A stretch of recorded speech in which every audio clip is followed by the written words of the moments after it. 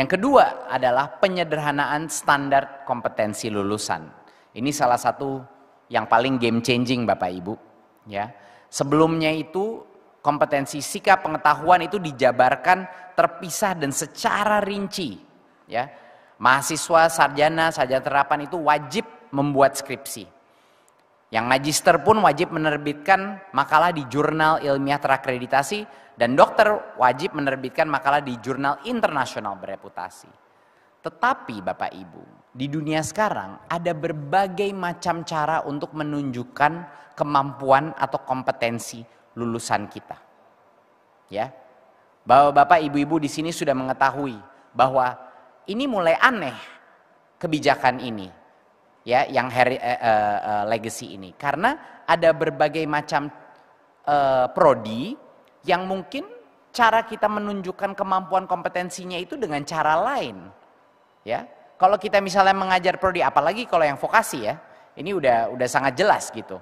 Uh, kalau kita ingin menunjukkan kompetensi seorang dalam suatu bidang yang teknikal apakah penulisan karya ilmiah yang dipublish secara saintifik itu adalah cara yang tepat untuk mengukur kompetensi dia dalam technical skill itu.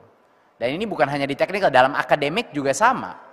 Apakah yang mau kita tes adalah kemampuan misalnya untuk orang yang melakukan konservasi atau prodi dalam konservasi lingkungan. Apakah yang mau kita tes itu adalah kemampuan dia menulis suatu skripsi ya secara saintifik atau yang mau kita tes adalah kemampuan dia mengimplementasi proyek di lapangan ini harusnya bukan Kemendikbudristek yang menentukan.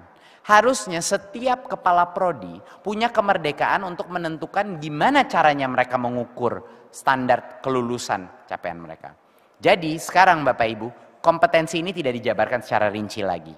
Perguruan tinggi yang dapat merumuskan kompetensi sikap dan keterampilan secara terintegrasi dan Bapak Ibu, tugas akhir bisa berbentuk macam-macam bisa berbentuk prototipe, bisa berbentuk proyek, bisa berbentuk lainnya. Ya, tidak hanya skripsi, tesis atau disertasi. Bukan berarti tidak tidak bisa tesis disertasi, tapi keputusan ini ada di masing-masing perguruan tinggi, ya.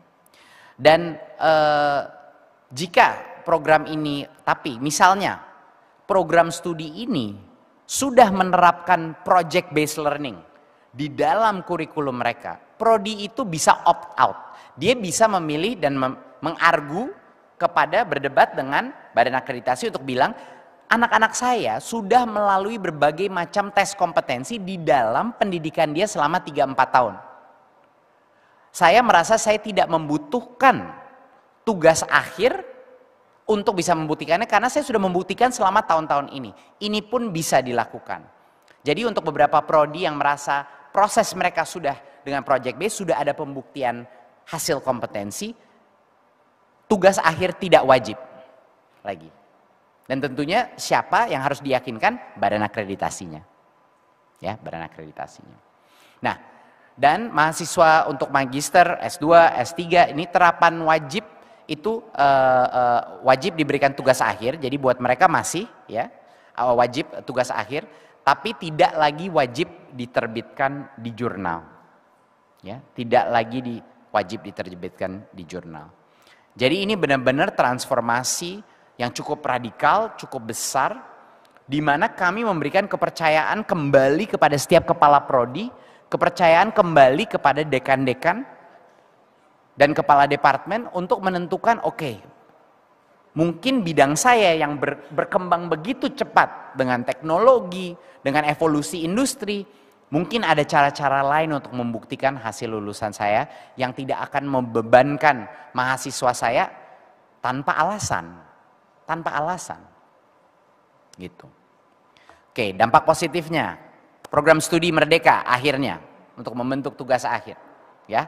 Atau memilih untuk tidak ada tugas akhir untuk yang S1 ya dan menghilangkan kewajiban uh, pada program studi sarjana sarjana terapan uh, S1 atau uh, S, uh, D4 mendorong perguruan tinggi menjalankan kampus merdeka dan berbagai inovasi jadi dampaknya Bapak Ibu dengan ada ini semakin pro, semakin bebas prodi untuk mendorong anaknya melakukan pendidikan di luar kampus semakin bebas prodi melakukan project based learning, project-project di lapangan, semakin bebas prodi untuk menjadikan project riset menjadi pendidikan atau bagian dari pendidikan uh, kurikulum prodi mereka.